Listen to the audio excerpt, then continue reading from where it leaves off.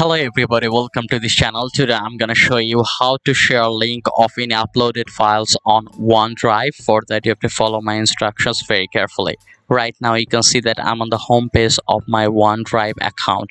Now i will upload a file and i will show you how to share the link.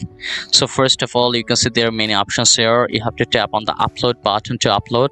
So if you want to upload a folder tap on folder or if you want to upload a files tap on the files button. So i'm gonna upload a file here.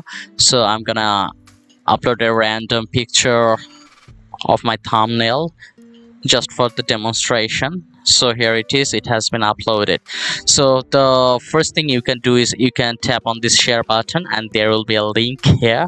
And now you can see copy link and you can also select anyone with the link can edit or something like that. You can specific people or there are many settings there you can apply here.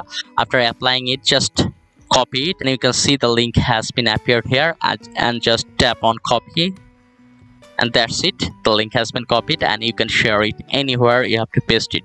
That's all. That's how easily you can do it. And if this tutorial helped you like this video and don't forget to subscribe to my channel. See you in the next one